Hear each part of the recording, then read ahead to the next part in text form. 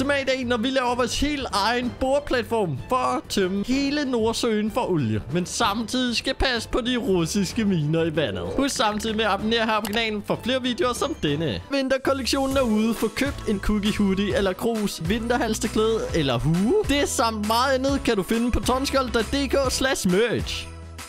Velkommen til vores olieplatform, gutter Vi starter ud, og øh, jeg kan se, der allerede ligger en masse miner hister her rundt i vandet. Og at dem skal vi selvfølgelig passe på. Åh, oh, der er en hej, man. Åh, oh, hvor er den nuttet. Øj. Men det er det som sagt vores olieplatform. Og det vi gør til at starte med, det er pause fordi vi skal have hyret nogen til at være på den her olieplatform. Og det gør vi her. Og ja, som vi kan se, så er der nogle forskellige ting. Um, der er nogle forskellige sådan færdigheder, de forskellige har. For eksempel, så Joshua Green har en færdighed, der hedder øh, Drill Handling udvikling, um, øhm, som gør, at han kan styre de her oliejewels, vil jeg tro. Så er der også en anden en, som hedder Refinery Production, og et eller andet, som hedder Refinery. Ja, yeah, det er jo meget nogle forskellige skills, de forskellige har. Og herover der er det sådan, hvad man sådan skal betale for dem i måneden, eller noget det stil, for at have dem kørende på olieplatformen. Og jeg tænker lidt, at vi super godt kunne til... Han er jo mega dyr, man! 86 for Joshua! Okay, det er måske værd, at vi ikke skal have Joshua i stedet for, ikke også? Vi kan købe Timothy Parker. Koster 50. Lad os gøre det. Så er der Oliver Baker her. Har to medical care, så han ligesom kan, ved jeg ikke, hvis en eller anden bliver spist af en hej eller eller andet, så kan han få det ordnet. Ham hyrer vi, og så er der Ethan. Han har noget underholdning, men han er mega dyr. Underholdning er åbenbart super dyr på en olieplatform. Okay, jeg har hyret tre personer. Uh, lad os lige se, kan de komme på? Det er ærligt, men kan vi klikke på dem på nogen måde? Det kan man ikke. De ser super ens ud alle sammen. Øh, men så det vi skal, det er, at vi skal have trykket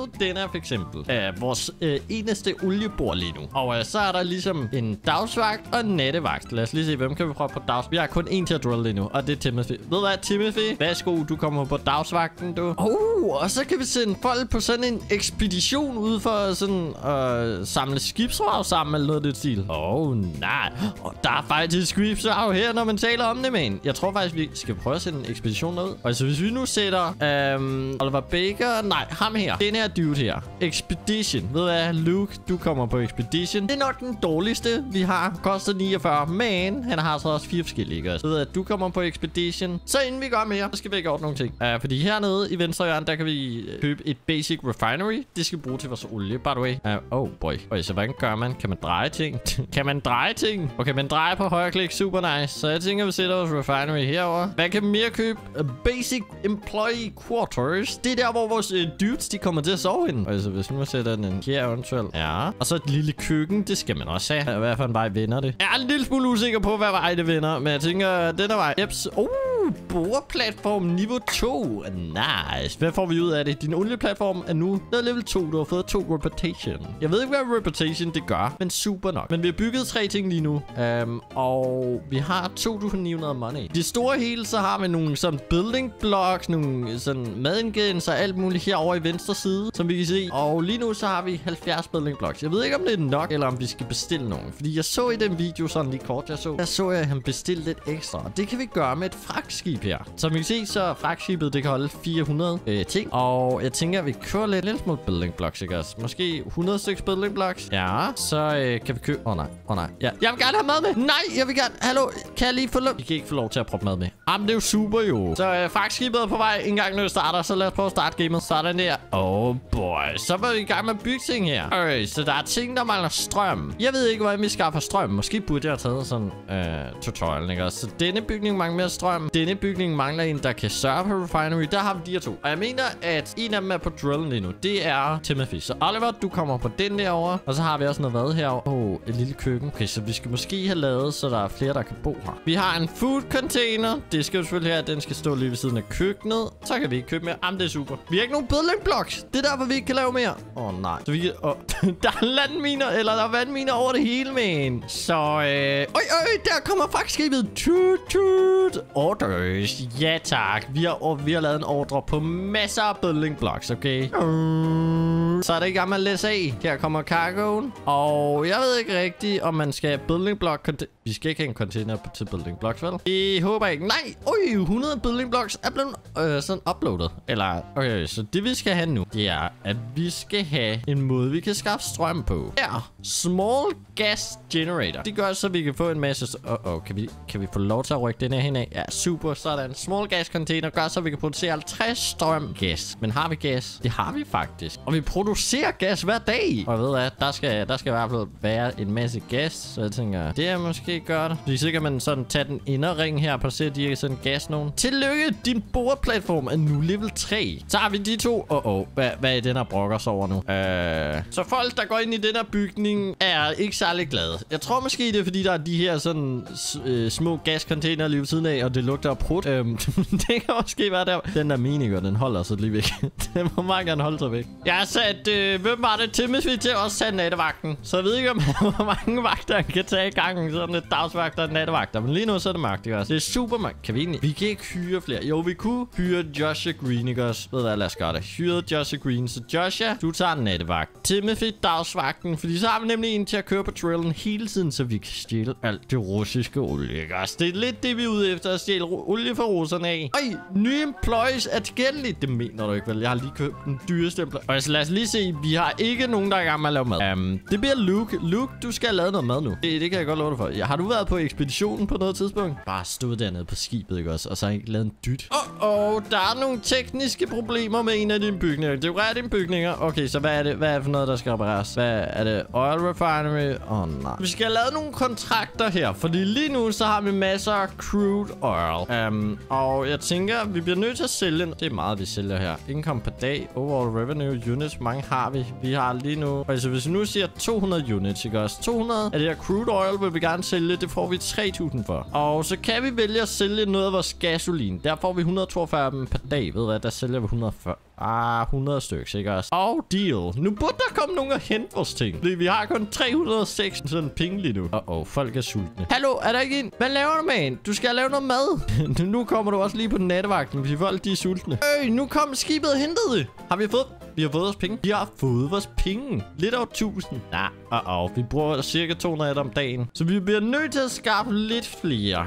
Um, blandt andet en, der kan lave mad. Det man var... Slap af, Ifra. Uh, Ezra Baker kan lave mad, men mega dyr. Så er der Braden. Braden kan... Ved hvad, vi tager Braden. Braden er meget bedre. Det kan godt være, at Braden ikke laver verdens bedste mad, ikke også? Men Braden er super, super nice. Og så tænker jeg lidt, at de brokker jo så over, at der er masser af larm herovre. Så måske skulle vi rykke den her et eller andet sted hen. Jeg ved heller ikke, fordi jeg ved, man kan udvide den her olieplatform på et tidspunkt. Jeg ved bare ikke, hvordan. Uh -oh. Kontrakt fail, eller kontrakt øh, succesfuld. Har vi ikke? Uh -oh, vi har masser af crude oil. Masser af crude oil. Hjælp! 13, man, så kommer der bare vand helt op til vores olieplatform, fordi det begynder at storme alt muligt. Og uh -oh. Be om det grammer minerne. Det er noget med, at man skal fjerne minerne på et tidspunkt, også. Jeg ved ikke, om der er et eller andet tilfældigt land, der måske har lagt minerne i vandet, ikke også? Mm-hmm. Men øhm, de er der i vandet. Uh -oh. Ik ikke for tæt på, Maja. Det var jeg godt lov dig for. Okay, så en ud af to kontrakter er succesfuld. Nice. Um, vi har valgt at sælge, jeg tror, det er rimelig mange af de her crude oils, og så en masse af det gasolin. Og indtil videre, så går det meget godt. Jeg ved stadig ikke, hvordan vi udvider vores platform dog. Uh -oh, der er to ting, der er gået stykker. Hvordan fikser vi det? Bygge en workshop for at fikse det. Ej,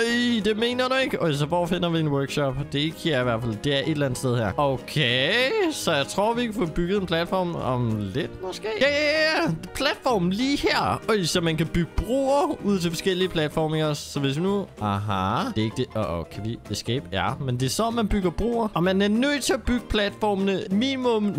What? Et stykke fra andre platforme, det mener du ikke vel? Altså, det lyder som om, der er en krig, der er i gang lige nu, men Prøv lige at lytte. Der er bare skud over det hele, man.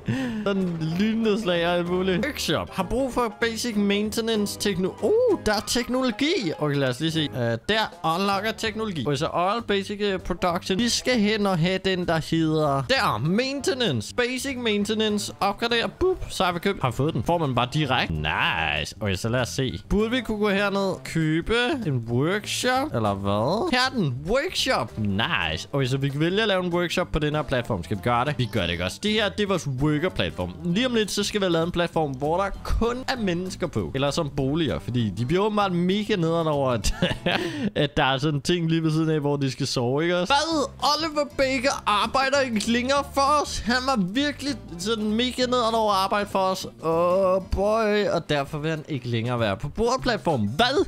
Det er ikke bare stik af på den måde, man. Okay, så revenue. Super nice.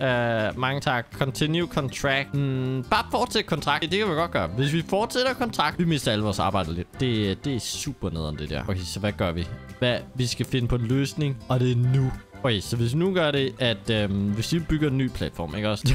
det er vores nye platform, og så skal vi bygge en bro imellem. Uh, den bro, den kommer til at gå her i midten, fordi jeg synes, jeg ser pænt. I alverden, hvorfor kan vi ikke gøre det? Er det fordi den ikke bygger? Sådan, nu er den bygget. Vent, vi har brug for flere ressourcer. Nej! Okay, så vi har brug for flere building blocks. Vi er nødt til at købe building blocks, fordi vi er på spanden lige nu. Virkelig på spanden. Uh, confirm delivery tager 40 sekunder om, at det når frem. Oh boy, vi har tre lige nu, der arbejder for os. Det er ikke så godt. Lige nu tjener vi ikke nogen monetos. Og vi har fået vores building building blocks, så lad os komme ud af med os, fordi vi skal simpelthen have bygget et nyt kvarterie. Sådan der, hvor vi kan have en masse residential. Så er der en basic employ. Er det super, så er der ikke engang plads til den, så er vi nødt til at placere den sådan her. Uh, jeg vil vel også godt. Jeg ved ikke, om vi kan slette den gamle nu. Det kan vi i hvert fald nu. Okay, så delete den. Ja, 300 tilbage. Sådan der. Har vi gjort det? Jeg tror, vi har gjort det. Ja, man. De er super glade nu. Nu er der ingen, der er triste over det. Tillykke.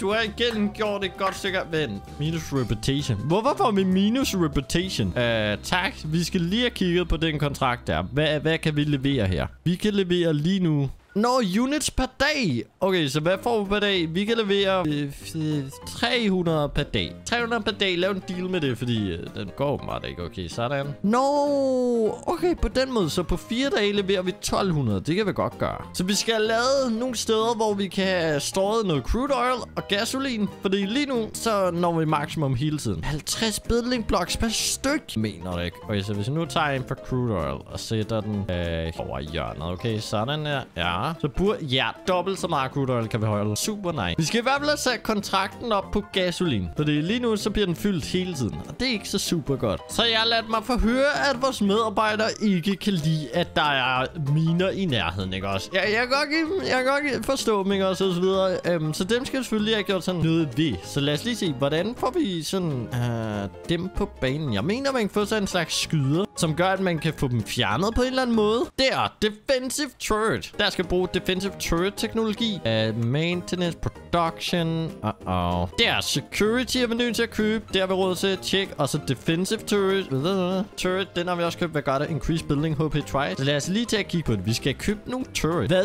i alverden har man brug for building blocks? Og så noget andet, jeg ingen anelse om har, hvad er for noget. Så lad os lige se. Uh, kan vi købe det på nogen måde? Nej, hvad er det? hvad er det? Kontrakten fuldført. Yes. Okay, så hvis vi lige laver kontrakten om, ikke også? Siger jeg 400 om dagen. Lige nu er den sat til 300. Lad os sætte 400. Der, det er lubricants. Så jeg ved ikke, hvordan vi får det her lubricants noget. Det kan måske være, at man skal tage på ekspeditioner for det. Det vil være lidt akavet, hvis det er tilfældet.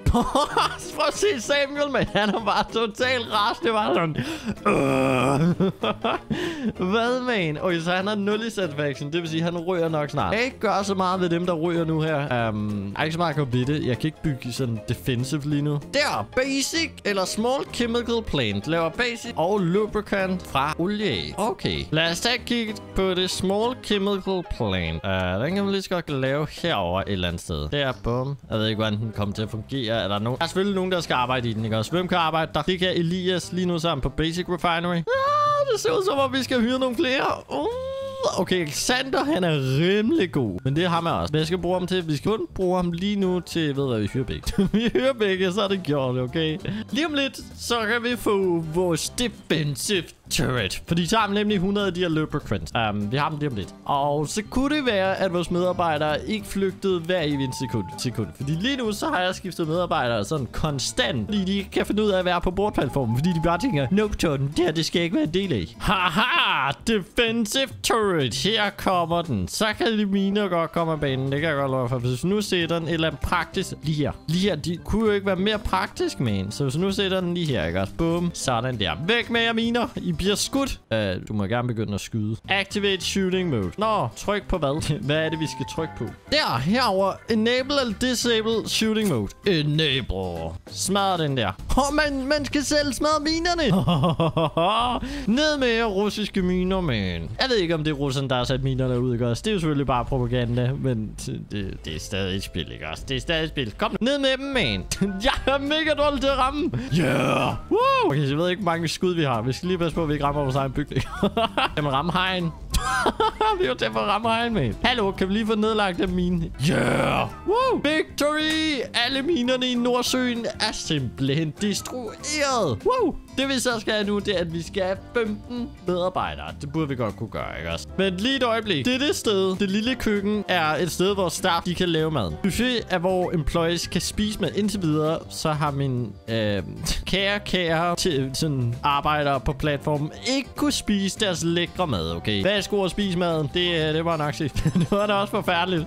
Nu kan de komme ind og spise alle sammen.